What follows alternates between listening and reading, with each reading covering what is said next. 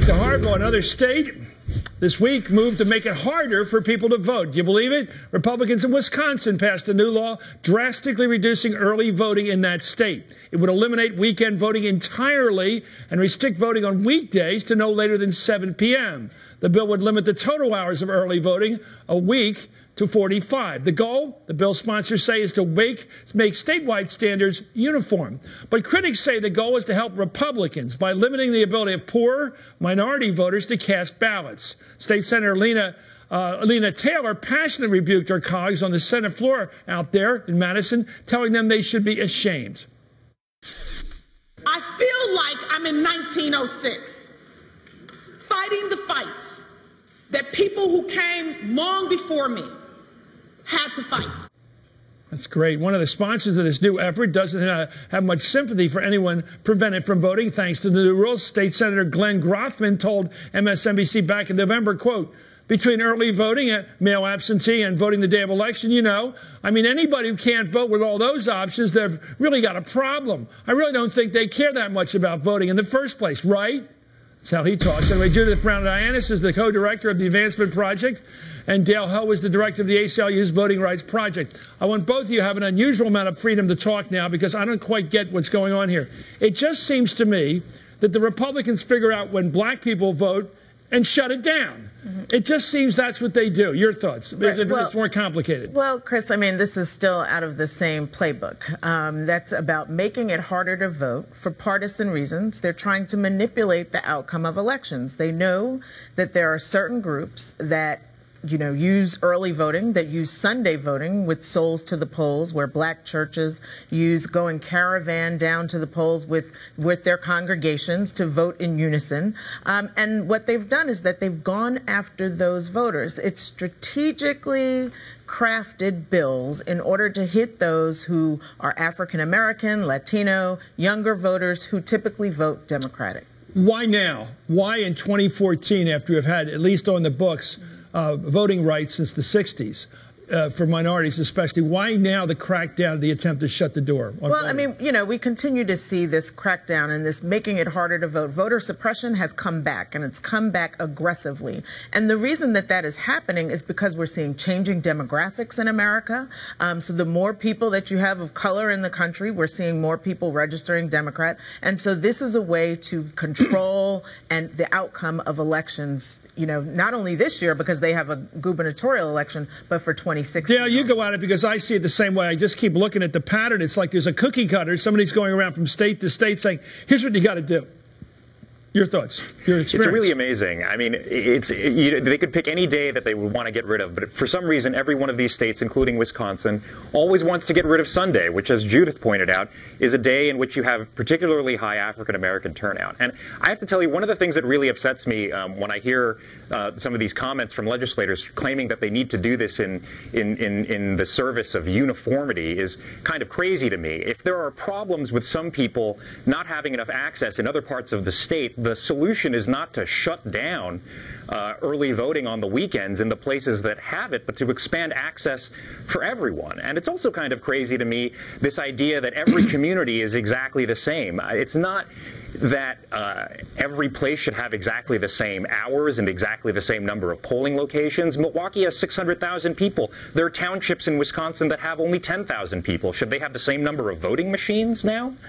Well, we'll see. Anyway, Republicans say these new laws like this are needed because rural voters might feel shortchanged. Well, Senate Majority Leader Scott Fitzgerald out there Madison defended the measure by saying, quote, it is difficult for people to turn on Channel 6 in Milwaukee and there's a shot of someone voting during a time when it's not available to people in rural areas.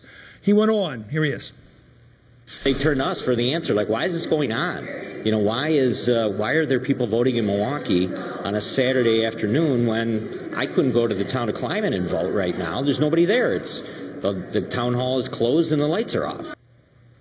You know, I got to wonder whether, you know, you have big states and you have minorities often grouped in big cities and liberals in big cities who are white and all kinds of ethnic groups. They tend to be the liberal areas. They, they, they like wishes, they, it seems like they wish those areas weren't in the states. right. They could elect just Republicans outside the city limits. Right. I mean, this is, you know, looking at rural areas and comparing them to the cities, the bottom line, as Dale said, is let's increase access for everyone. We shouldn't be restricting the yeah. vote. What about I mean, 7 o'clock? A lot of people, uh, we were talking about, all the producers agreed about this thing. We thought, look, if if you go to work, if you're a working person, you often work far from home. That's right. It's not your office nearby or your factory. So you get in a bus, public transportation. You may take two or three buses to get home, mm-hmm. certainly a couple. And by the time you do get home, you got to go get to the voting station. Seven o'clock could be a pretty tough deadline. That's right. I mean, can you imagine even the D.C. area in Virginia, mm-hmm. seven o'clock closing? I mean, we know Shirley that, Highway. We know that right. Traffic. That's right. We know our traffic takes an hour and a half yeah. to get home, and so cutting it off at seven o'clock really Why was would somebody hitting, want to do that? Hit, it's about hitting working Americans who they are afraid will not vote for the Republican Party. Anyway, Milwaukee Mayor Tom Barrett had some strong words for Republicans pushing this bill. Here's what he had to say, uh, what's really behind it. Here's his thought. Let's watch. You can see what the goal is here. The goal is to just jam up the city of Milwaukee and other large municipalities. Let's just jam it up. Let's have people frustrated and wait and leave the polls.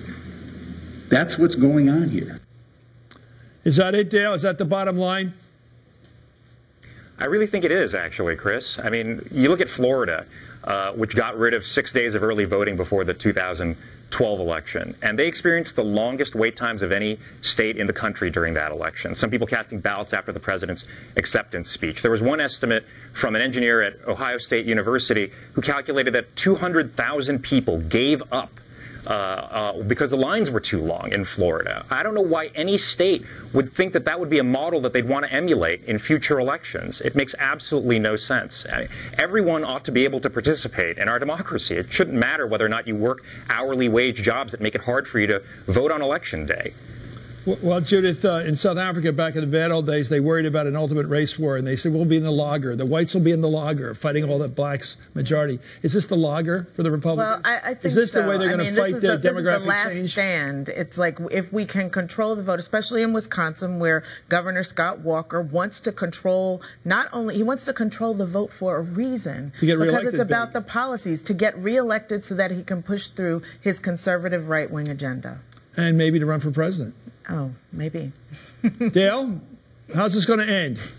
Is this going to stop or keep going? Uh, Is this well, battle going to go on to try to stop people from being able to vote, even our American citizens?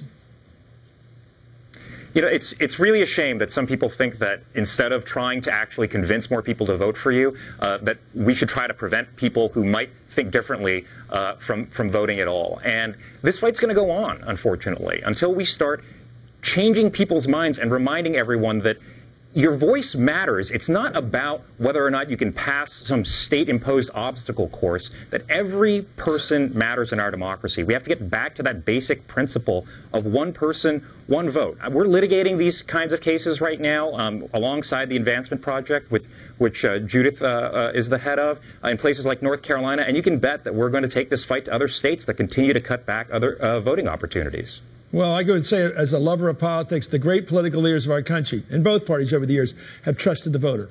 They're not afraid of the voters. That's how you can tell a great leader. Anyway, thank you, Dale Ho, and thank you, Judith Browne Dianis. Up next, everything's going green as Washington celebrates St. Patrick's Day, or St. Patty's Day, as we always called it. We're going to talk about why so many Irish in this country have gotten into politics.